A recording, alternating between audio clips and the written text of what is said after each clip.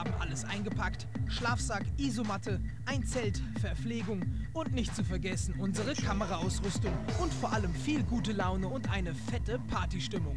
Unser Weg führt uns über die A48 Richtung Süden. Die Vorfreude steigt. Die Fahrt geht direkt in den Hunsrück.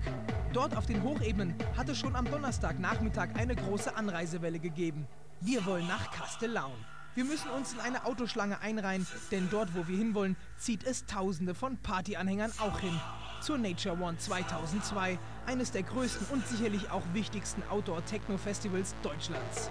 Wir haben Freitag, den 2. August. Es ist kurz vor 20 Uhr. Wie Sie sehen, alle Leute strömen hinten an die Kassen vor dem Haupteingang der Nature One in Castellaun. Wir wollen jetzt erstmal die Leute befragen, was sie sich eigentlich davon erwarten, von diesem Partywochenende. Fun. Fun auf jeden Fall. Spaß, Spannung, echt alles. Eine schöne Party. Abfeiern und ja. Also ich erwarte mir von der Nature One ziemlich viel Action und Spaß und gute Musik und Party. Ähm, ich erwarte, dass ich so wie letztes Jahr dann wieder zwei Wochen später noch immer daran denke, wie geil es hier war. Obwohl letztes Jahr war ein bisschen besser, fand ich. Weil da konnte ich wenigstens bis vorne beim Auto fahren.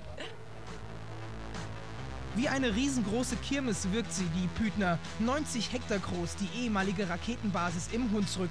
Schon am letzten Sonntag im Juli wurde hier emsig aufgebaut.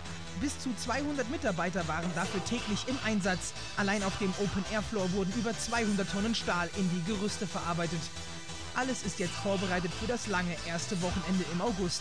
Unter dem Motto Zurück zur Natur sollen die Dinge hier zusammenkommen. Die Natur, die Menschen, die Liebe und natürlich die Musik.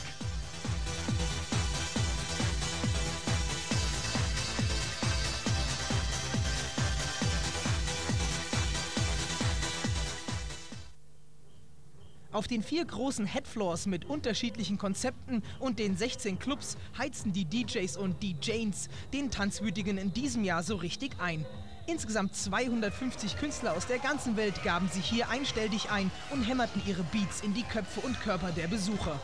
Hier konnte keiner ruhig stehen, die Musik ging durch Mark und Bein, das Tanzbein bewegte sich wie von selbst.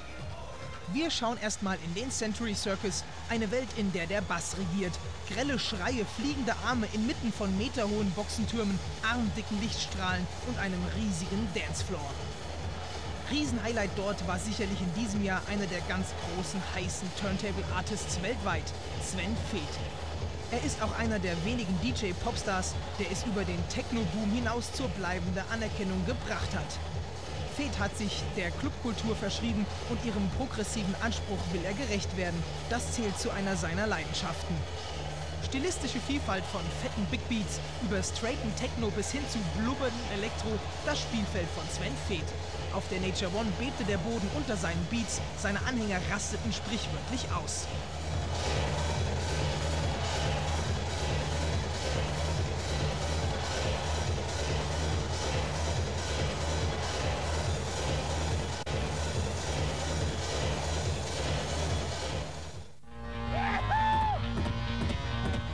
Open Air Floor ist der Platz unter freiem Himmel, wo die Tanzenden wüteten. Hier ist kein bestimmter Stil festgelegt worden. Einfach nur unter dem herrlichen Sternenhimmel bei klarer Luft abtanzen zu einem großen Spektrum elektronischer Musik, von Trance bis Techno, von House bis Big Beat.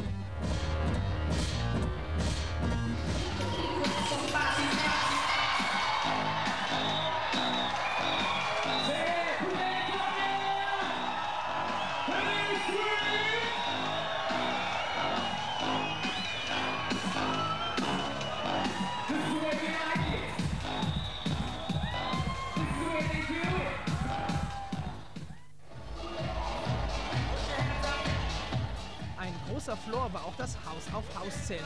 Haus entstand in den 80ern, als ein paar Radio-DJs aus Detroit und Chicago sich gegen den Rock'n'Roll wandten. Hier wurde gekickt, gepumpt, gesaugt und gestampft bei Deep Vocal Disco und Progressiv. Jesse Saunders, der als Begründer der Hausmusik gepriesen wird, pushte die Menschenmassen auf. Für ihn ist seine Musik Ausdruck der Gefühle.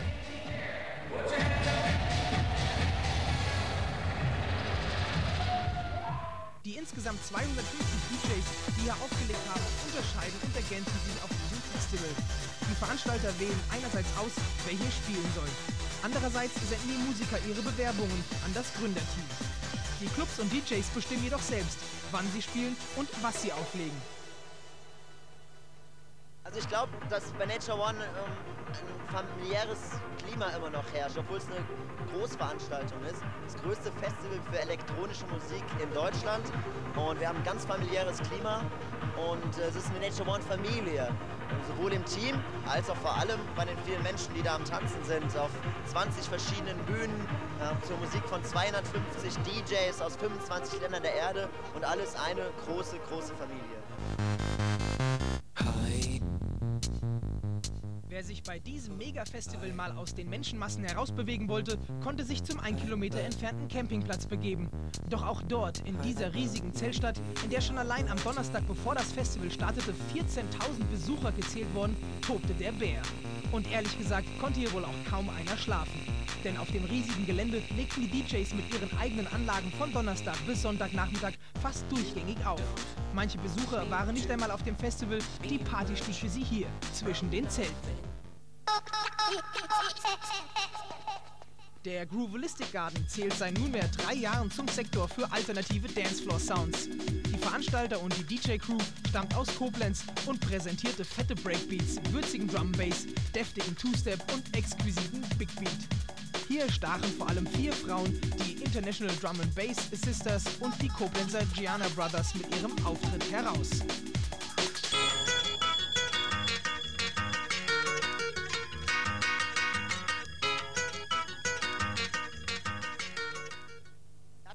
Am Donnerstag bei dem Mixi Warm-Up schon rund 14.000 Leute auf dem Campingplatz. Das sind 80 Hektar, Menschen aus ganz Deutschland. Wir hatten ganz viele äh, Menschen aus dem Ausland dieses Jahr dabei, aus Holland, aus Belgien.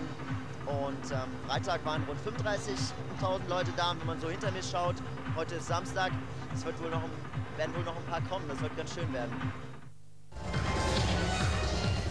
Wenn es um Spitzen-DJs geht, dann darf Monika Kruse nicht vergessen werden. Sie kann sich sehen und vor allem hören lassen, neben ihren vorwiegend männlichen Kollegen.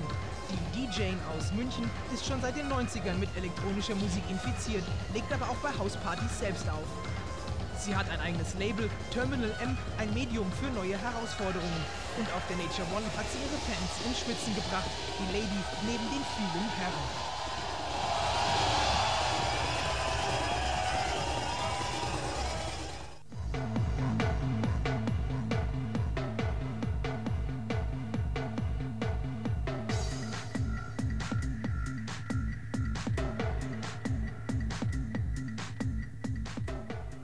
Nature One mit ihren 45.000 Besuchern hat ihrem Namen alle Ehre gemacht. Ein Open-Air-Festival der Superlative. Party ohne Ende wurde versprochen und natürlich auch gehalten. Ob Veranstalter, Künstler oder Besucher, zufrieden waren sie alle bei der 8. Nature One im Hunsrück.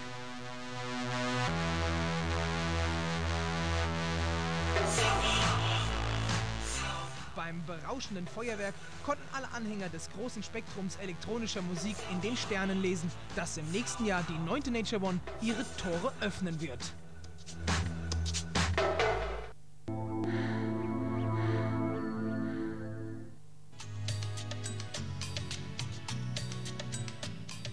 Hallo liebe Zuschauer,